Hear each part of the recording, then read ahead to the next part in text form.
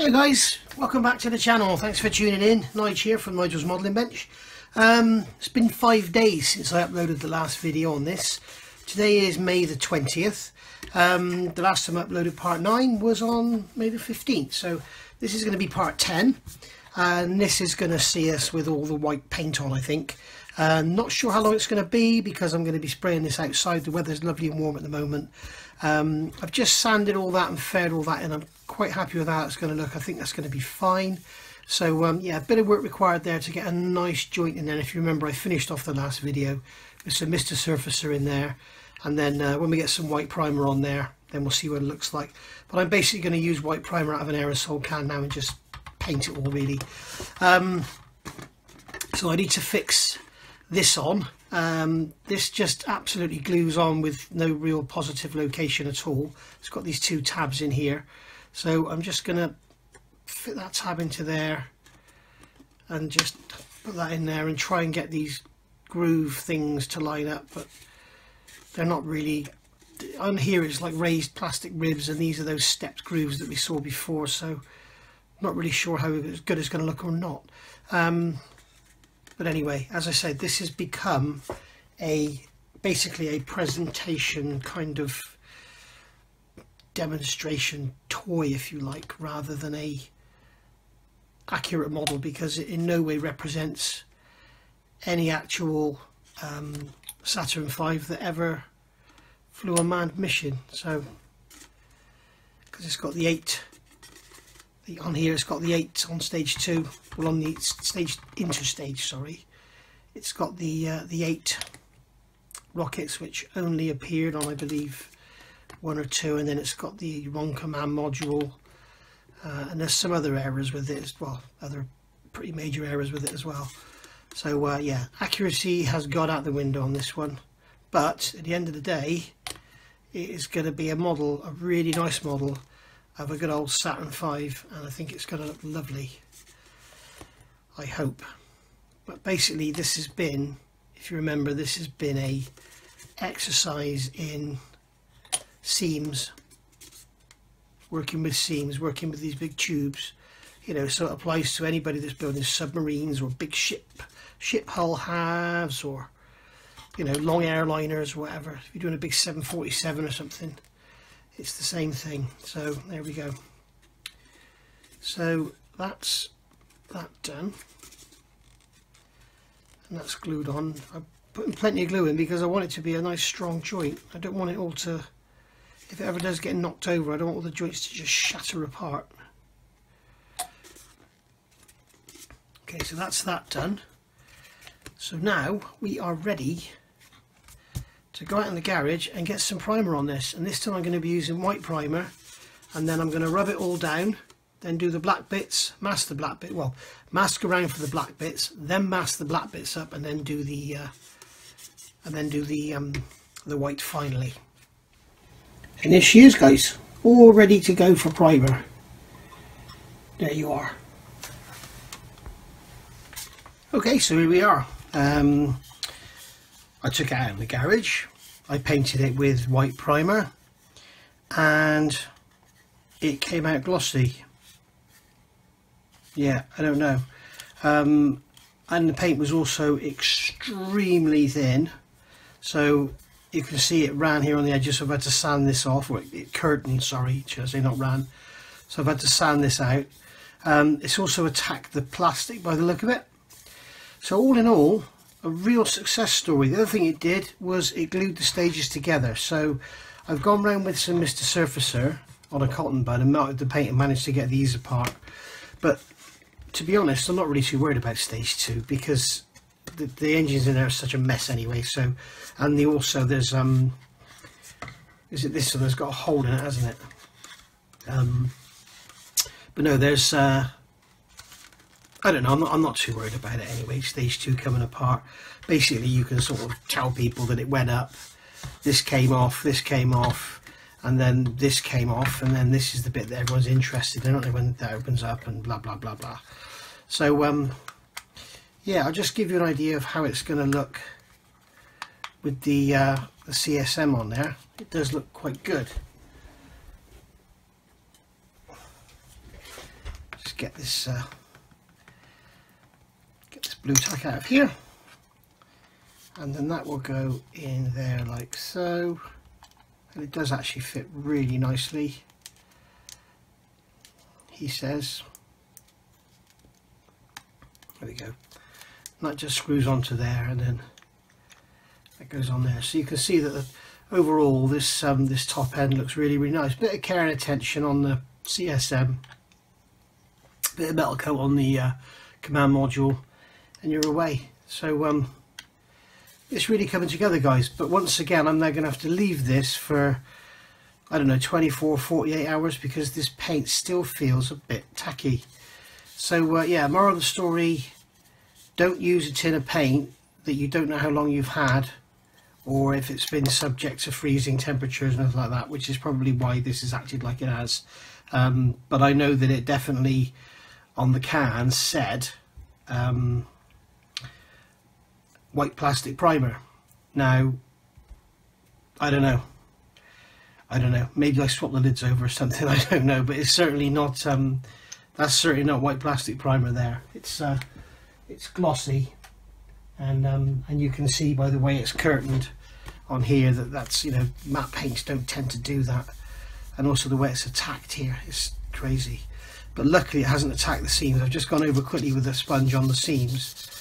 Um, you know, thinking, oh God, if it's attacked the seams, I really am back to square one. But uh, yeah, it hasn't. So I'm going to leave this now for 24, 48 hours, and then I'm going to give it another matte coat of the uh, Mr. Surfacer white, um, which should be easy to cover now. And then I'll at least have a base that I can work with rather than this glossy, sticky, tacky mess. And this all goes back together like so there we go that goes in there. And that'll look lovely. So um yeah in the meantime as well I'm also on this thing. This kit is a complete dog but we're getting there. Um, Mr. Surfacer Heaven this model is. So um yeah and they're both the same scale look. So it just shows you how big the space shuttle was doesn't it? It's absolutely huge. Right finally we're back. Back on this kit again. Um and it's been oh a nightmare. But basically we've got there. And what I've done I've painted all this with the Mr. Hobby base white. Um, you can still see the black coming through where that aerosol can attacked it. So um, yeah so basically I'm sort of ready now to start putting on some tape and mask and do the black bits.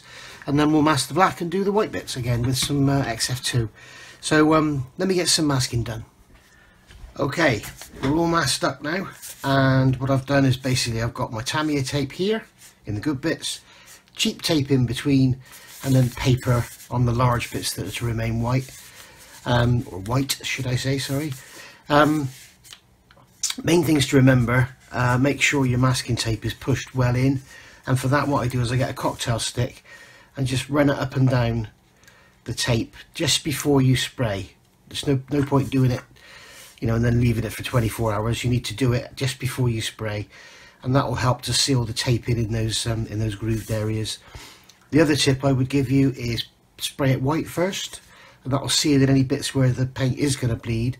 And then what will bleed through is white paint, and then when you spray it black, you shouldn't get any uh, black bleeding.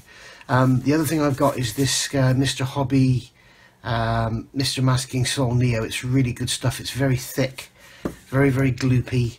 Um, you can see there, but it's very uh, manip manipulative. I don't know, but once it's on, you can sort of push it around and, and where you don't want it and stuff.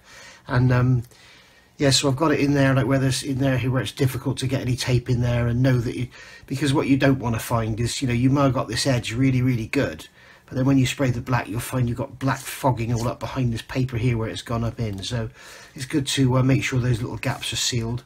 Um, the other thing is I've decided this is going to be um, depicting Apollo 4 although it's inaccurate in many many ways um, I've decided that it's going to depict Apollo 4 because in this um, first edition of Airfix Model World magazine there is a feature about the uh, building the Apollo um, the uh, Apollo um, Saturn Saturn 5 sorry Apollo 11 uh, Saturn 5 um, rocket.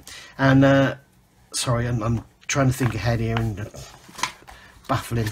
Um, the picture here if you're going to do this this is Apollo 4 so I started masking away and I thought this is a bit weird. I'm sure that these black segments here were always to the to the left of the um, of the tail cones parts. And then to this that's very strange because they're they're not they're on the right hand side. And then I started looking and hang on a minute and if you look closely at this photograph I don't think you can see it on the camera but this photograph has actually been reversed. It, the actual S is the back wrong way around so this um, this photograph is uh, is incorrect. Um, so it's actually a mirror image. They've got the um, the, uh, the, neg the, negative uh, backwards when they put the photo in the magazine. So if you're going to do this one, go online, have a look, and um, and check out your references. The reason I've chosen the Apollo 4 is just purely because if I look up here, it looks like it's got a Block 1 um, command service module on it.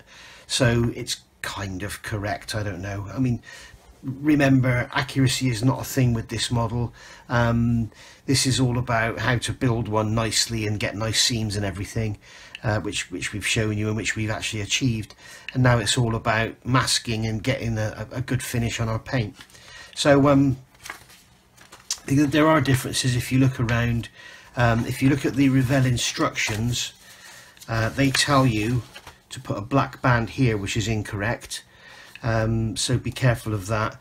And also on here there's no real um, reference that shows you where you are um, what is what or what point of the, the I mean they've got this little lump here and here this umbilical but um, there's nothing else on that it sort of shows you really where you are and the other reason I chose Apollo 4 of course is because it's got the eight um, little rocket motors on the uh, interstage so it's kind of getting there towards the accuracy of things. So, um, yeah, uh, I'm not suggesting you buy this magazine. It is an interesting little uh, feature from Matt Irvine on building the um, and correcting the the Airfix Apollo uh, Saturn V. I mean, um, I think it's probably a nicer kit than the um, Revell um, because they actually added the Block 2 service module, but the command module is well undersized apparently. So uh, there we go. So I'll get on and um, do some painting and perhaps show you what I do there. As I mentioned before, I'm going to go around with the cocktail stick and just push the tape into all those grooves right before I do my painting. Okay, so that's all done there. That's all down nicely. That looks like it's not very straight. There is actually a white tape underneath there, which is straight. You can probably see the edge there. So there is a white tape there. So what I'm going to do, I've got some XF2 roughly 60% paint, 40% thinners, Mr. Hobby thinners, and I'm just going to very lightly go over all the edges of all the tape with the white, and hopefully that will seal any any areas where the paint's going to bleed. It will bleed through with white and seal the area that it's bled. Okay, I'm purposely actually spraying into the tape to encourage it to go in any gaps. The same up here. Well, we should be fine with this one because it's um, it's the Tamiya vinyl tape and it's on a smooth surface. I'm just going to concentrate on that area there where the joint is. Concentrate around there a bit.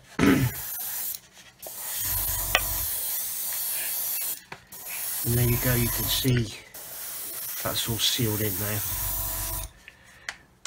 Okay. Right, that's all done now. So that's all um, painted now with the white around the edges of the masking tape.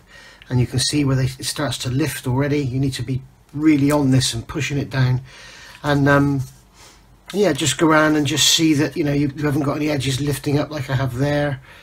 And then when we spray the black, what we do is go very, very careful and put on very dry coats, sort of spraying away from the masking tape where possible because we really don't want to have to um, try and cover any black with white because it's an absolute nightmare. And um, then when we do the black, when we when we're ready to uh, spray the white, sorry, we mask the black. Obviously, we can't do this and go around the masking tape with black because then we'll have to cover black. So what we'll do then is we use clear. Um, just use some probably semi-gloss clear, go around the edge of the masking tape, seal it in, and then spray our white. And if we do get any bleed through of white onto black, it's just going to be a case of touching it in with a brush. And um, for that reason, I'm going to use, I'm not going to use XF1, I'm going to use X18. X18 is a, it's, it's a semi-gloss black from Tamiya and it's very um, it's a lot more hard wearing than the XF1 and also when you brush paint another black onto it it looks better. When you brush paint over the X1 it's kind of a different color black if you know what I mean. Um, maybe one day I can show you on something but um, yeah if, if, we decide to go over with some of the Revell black uh, you know thinned with water just to cover up any little areas then it will blend into the X18 a lot better than it would into the XF1 so I need to let this dry now, just for an hour or so, and then we'll go over with the uh, with the black. Right, so that's been drying now for about an hour. So I've got some X18 in here, mixed roughly 50-50 with some, um, I've used the AK high compatibility thinner, but it doesn't really matter what you use. So what I'm going to do is just on this piece here, I'll do this on camera, I'll do the rest off. Um, what I'm going to do is very lightly spray this around the edges first, and I'm just going to check my tape check my tape is all good so that's okay. And now what I'm going to do is just I can see it's just lifted there it's lifted there a little bit so push that down a bit on the end. And I'm just going to lightly paint very lightly I'm going to flood it. And you can see that if you look close you can see that if you stay pointing the paint away from the masking tape then you don't get a build-up of paint on the edge of the tape same around there. Now on these little panels I'm going to stay 90 degrees to them. Same here 90 degrees. 90 degrees here. Again another coat on around there. I'm at roughly 15 psi so a bit heavy there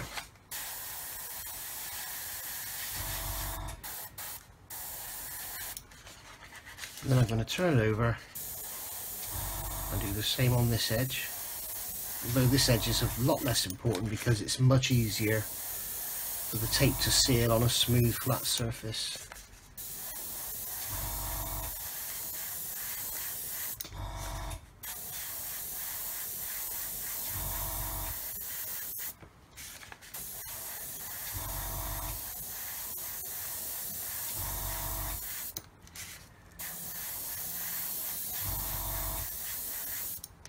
And there we go. You see just laying it on, thin layers, just laying it on.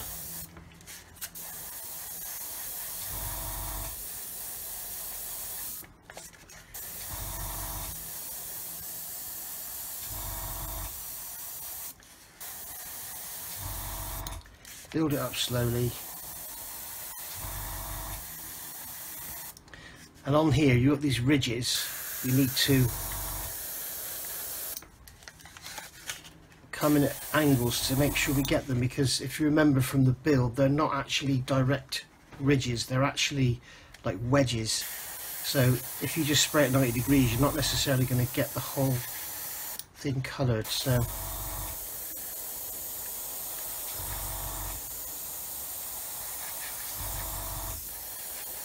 I need to change my angles, make sure we get good coverage.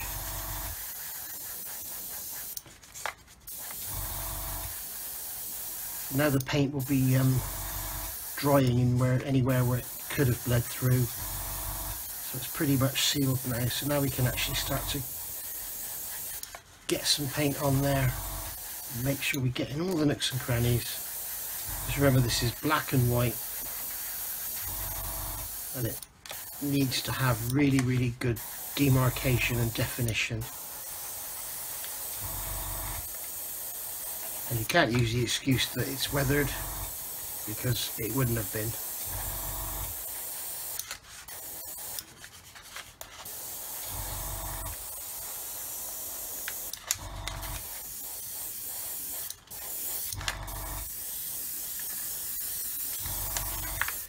It's a good idea when you're doing fine stuff like this, every now and again, just to come along and just give the airbrush a blast through.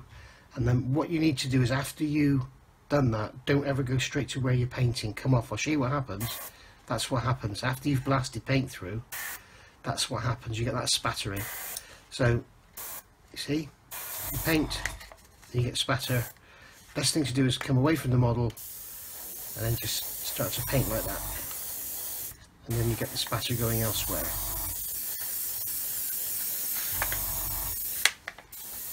And there we go. That's that pretty much done. I can leave that now give it a quick coat second coat in a minute and uh, now I need to get the rest of these parts painted. Okay then guys so it's uh, moment of truth time. It's paint's been on about 20 minutes so it's um, sort of tacked off uh, it's a good idea to get your masking off as quick as you can because um, if you let the paint fully harden sometimes it can actually peel the edge of the paint up uh, especially if you haven't got a very good bond on the uh, substrate below. So it's often a good idea to do this as soon as you can after painting. And what you're going to end up with is a huge pile about 100 pounds worth of masking tape on this one. Um, so I'm going to grab a cocktail stick for doing my picking with. So we can just peel that one away there. And then we'll find the end of this vinyl tape that I put down here. And we'll see how we've gone with our actually I'm going to grab a pair of tweezers um, because I don't want to risk sliding off and scratching the paint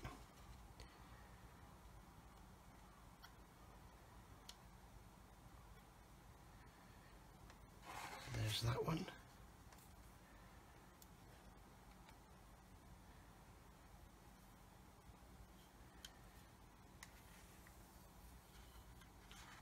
You can see we've got a nice clean edge there rather other than a tiny bit of bleed there where we had the joint in the tape. But that's okay that's fine that's going to be easy to cover up.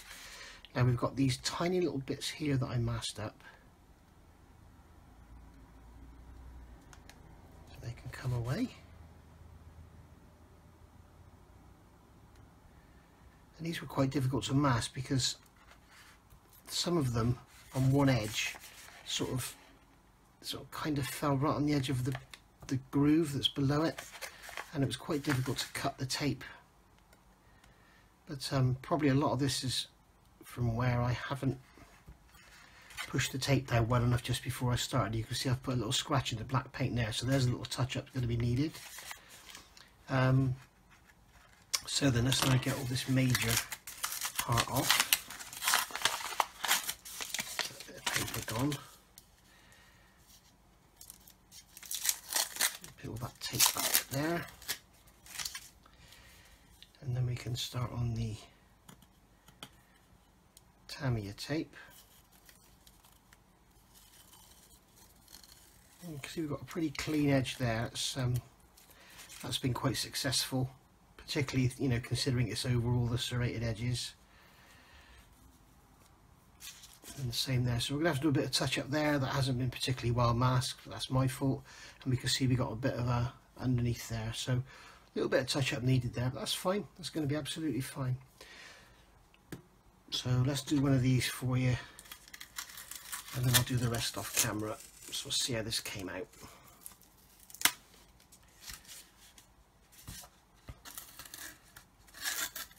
this was quite awkward this bit because it's all stepped. Oh no that was that bit. That was a step that was uh, on stage two.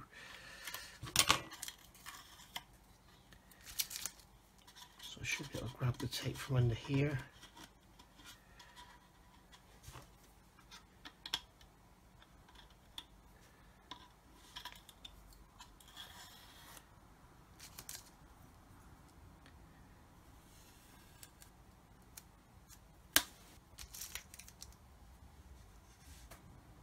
So that's pretty good, a nice clean line there. Get this tape up from under here.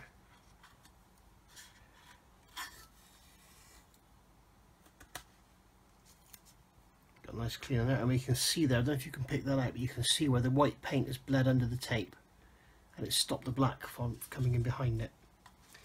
So it's worth doing the, uh, the little thing I showed you rip off the main tape like that and then we can take off that piece. And again you can see where it's bled through.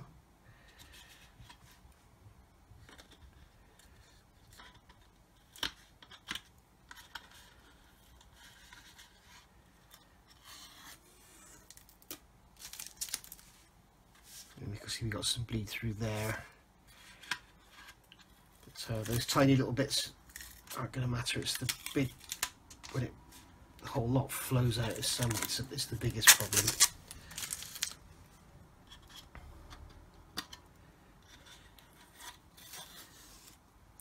So I'll go on and get the rest of this unmasked rather than uh, give you death by boredom from masking from watching me do this and uh, I'll come back. Right, on the whole, not a bad job, um, not a brilliant job either. This area up here is quite nice, bit of a step there I need to sort out. Um, but all the masking, the edges are nice and clean. Um, down in here, I could have done some better masking there and there and there and also pretty poor in here. Um, I was concentrating so much on getting tape in there and not having the, the paint go up through so um, that's my excuse and I'm sticking to it. So I'm going to have to go around now with a brush, um, perhaps mix up some X18 with water and just just brush it in into these little corners and stuff. Um, and then you can see there where I've got some um, you know the, the, the tape was bent over so it's got like a shadow effect on it so that just needs a brush in but it's going to get a coat of clear anyway after it's all done after the white and everything's done to seal it all in and get ready for our decals so um yeah quite pleased with the way this has come out. The stage one is uh, still got a bit of tape on it there. Get that off. So that's looking pretty good. Um, that line there is actually going straight up the seam line by the look of it. The seam's here somewhere. Um, so yeah looking quite nice. And you saw this one. This needs a touch up with a with a brush.